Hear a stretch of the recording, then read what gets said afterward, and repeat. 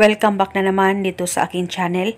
Panibagong araw, panibagong video na naman tayo ngayon. May ibabahagi na naman ako sa inyo ngayon na ritual. Ito'y simpleng gabay at simpleng pamamaraan at ito ay makakatulong sa inyo. At kung bago sa channel ko, ay huwag niyo pong kalimutang mag-subscribe at pindutin ang notification bell para palagi kayong updated sa mga bago kong videos. Sobrang lungkot mo ba ngayon? Dahil nararamdaman mo na ikaw ay wala ng halaga sa kanya.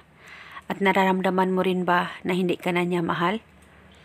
At ayaw mo na tuluyang magkalabuan kayong dalawa? At ayaw mo rin ba na tuluyang magkahiwalay kayong dalawa? At gusto mo ba na ikaw at ikaw lamang ang pakamamahalin niya?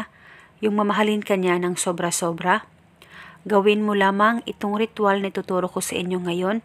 Dapat kayo ay palaging naniniwala sa mga ganitong pamamaraan. At paalala lang, kung matapos mong magawa ang ritual, ibaliwala mo lang, huwag mong isipin na ikaw ay gumagawa ng ritual sa kanya. Nang sa ganon, ikaw ay mamangha na lang sa maging resulta nito. At nang hindi mo rin mararamdaman ang kaba na nararamdaman mo pagkatapos mong magawa ang ritual. Ang gagawin mo lamang ay kumuha ka lamang ng papel at panulat at isulat mo lamang ang pangalan at apelido ng target ng pitong beses. At dapat alam nyo ang kanyang tunay na pangalan. At pagkatapos ay hawakan mo ang papel, mag-focus ka, mag-concentrate, ipikit ang mga mata mo at banggitin mo lamang ang spell na ito. Pangalan at apelido, ako ay mamahalin mo ng sobra-sobra. Banggitin mo lamang ito ng pitong beses.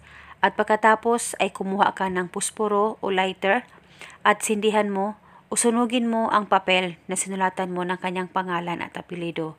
At pagkatapos mo ng masunog ito, kunin mo ang abo at ilagay ito sa maliit na plastic at itago mo ito. Ilagay mo ito sa unan mo at uunanan mo ito gabi-gabi. At nang sa ganon, ikaw ay mamangha na lang sa maging resulta nito. At uunanan mo ito hanggang kailan mo gusto. At hindi na po ito kailangang bulungan araw-araw, basta ilagay mo lang ito sa unan mo at uunanan mo ito.